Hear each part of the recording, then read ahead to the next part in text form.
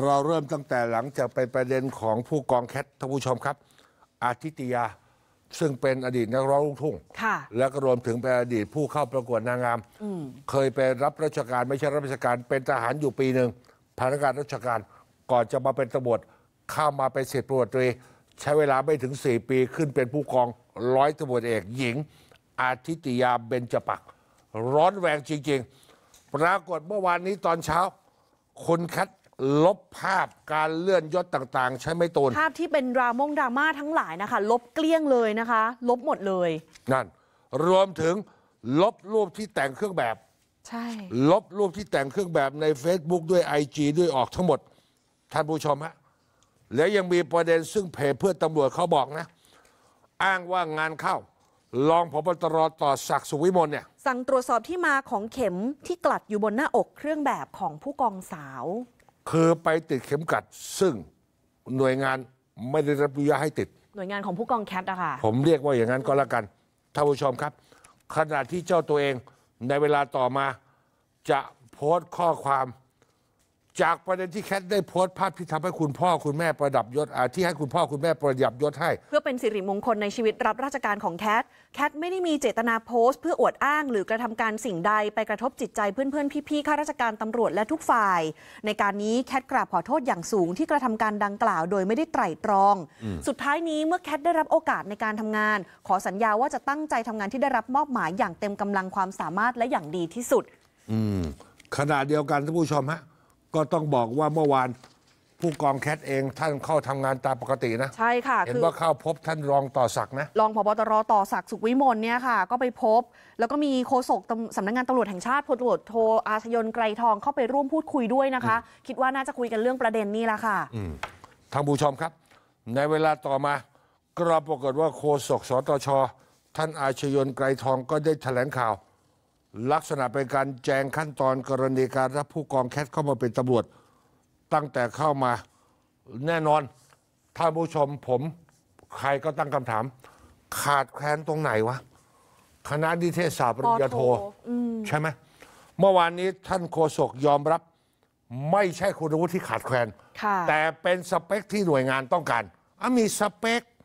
มันยังไง คือคือท่านอย่างนี้อะย้อนกลับไปท่านบอกว่าขั้นแรกเนี่ยตอนเข้ามาเป็นตำรวจ เริ่มจากสำนักงานเลขานุการตำรวจแห่งชาติเนี่ยได้ตำแหน่งว่าง คือมีตำแหน่งว่างอะระดับรองสารวัตรอ่าและจำเป็นจะต้องหาคนมาทำงานด้านพิธีการ การประชุมและสารบัญก็เลงานยด้านเปิพิดธีการเรื่องการประชุมเรื่องงานสารบัญแล้วใช่ค่ะ แล้วก็เลยเปิดรับสมัคร ขออนุมัติทางตรเนี่ยเปิดรับสมัคร 4 คน จากนั้นก็คัดเลือกตามคุณวุฒิ แล้วทีนี้พอได้มาเนี่ยก็มีกฎกตรอันหนึงเขียนเอาไว้ว่าคนที่จะเข้ามาลักษณะเนี้ยจะต้องบรรจุเป็น 10 ตำรวจตรีก่อน แล้วก็ไปอบรมกอสจากนั้นจะได้ยศร้อยตำรวจตรี แต่ประเด็นที่เลื่อนยศขึ้นมาเร็วโฆษกตำรวจบอกว่าการเข้ามาตามคุณวุฒิปริญญาตรีเนี่ยบรรจุประมาณ 1 ปี จากร้อยตำรวจโทเป็นร้อยตำรวจเอกต้องครองยศ 3 ปี แต่อย่างในส่วนปริญญาโทปริญญาเอกเนี่ย ซึ่งผู้กองแคทก็คือปริญญาโท จากร้อยตำรวจตรีเป็นร้อยตำรวจโทหนึ่งปี ไม่ต้องสองปีแปดไม่ต้องสองครองยศอีกหนึ่งปีก็จะได้เป็นร้อยตำรวจเอก ซึ่งคนที่เข้าอบรมร่วมกันในรุ่นเดียวกันต้อง 350 คนทุกนะคนก็ใช้หลักเกณฑ์แบบนี้เหมือนกันหมด ไม่มีใครได้รับอภิสิทธิ์ที่ว่าจะได้ยศเร็วกว่าใครทั้งสิ้น แต่คุณวุฒิยอมรับนิเทศศาสตร์ไม่ใช่ขาดแคลนอืมแต่เป็นกรณีหน่วยก็คือเลขาสำนักงานเลขานุการตรต้องการงานแบบนี้ฟังดูฮะ เลขานุการตำรวจแห่งชาติได้มีตำแหน่งว่างนะครับ ในระดับรองสารวัตรที่จำเป็นต้องมาทำงานด้านพิธีการการประชุม หรือว่าสารบัญก็ได้มีการรับสมัคร หลังจากมีการสมัครแล้วเนี่ยก็จะใช้วิธีการคัดเลือกนะครับ ไม่ว่าจะเป็นเรื่องของการสอบสัมภาษณ์หรือวิธีการอื่นใด แต่มีกฎกตรมีเงื่อนไขว่าผู้เข้ามาเป็นตำรวจในลักษณะนี้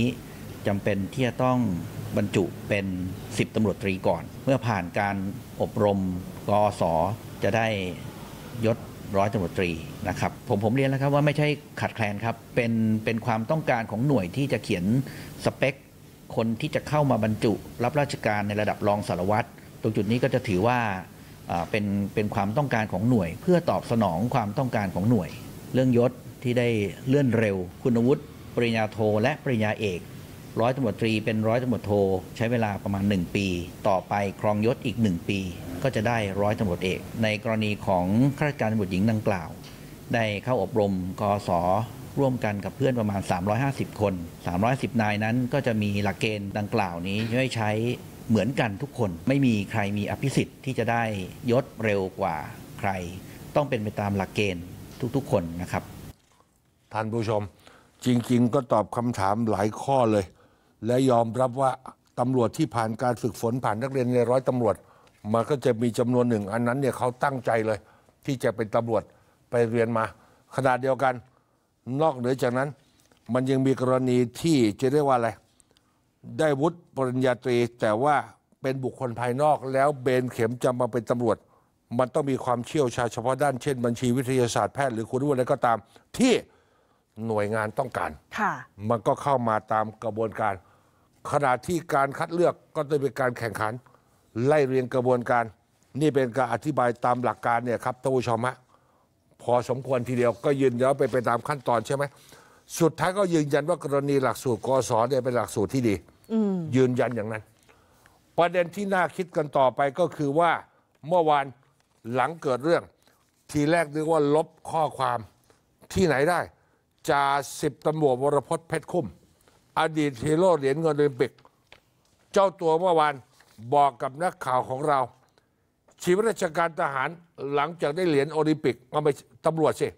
หลังได้เหรียญโอลิมปิก ปรากฏว่าไม่ได้เลื่อนชั้นจากสิบได้เลื่อนชั้นจากแค่สิบเอกมาเป็นจ่ามั้งก็เลยตั้งข้อสงสัย